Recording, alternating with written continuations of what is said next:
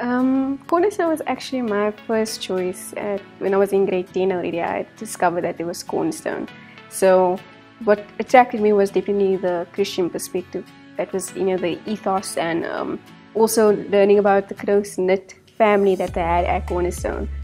It's so everyone just seems so close together and when I came here for the first time everyone was just hi hello how can I help you like everyone was so friendly so I really liked that they're very, very approachable and that's, I think that's very important. I feel very supported at Cornerstone, um, especially by, by the lecturers and the rest of the students.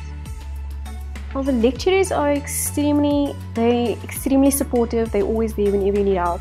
If you need help with an assignment, it's just it's as easy as just sending them an email or making an appointment, and they'll they'll take their time to spend with you to help you out. Um, what I like about the lecturers is that they're always there to help you and to support you and most of all like motivate you, like to do better, you want to do better. And I feel like that's what, what people need when they come to a tertiary institution is to obviously gain knowledge but to grow um, as a person through it as well. You're not just going to pass with your grade but you're going to pass with gaining knowledge and growing as a person and learning new things and that's why I would recommend it to other people.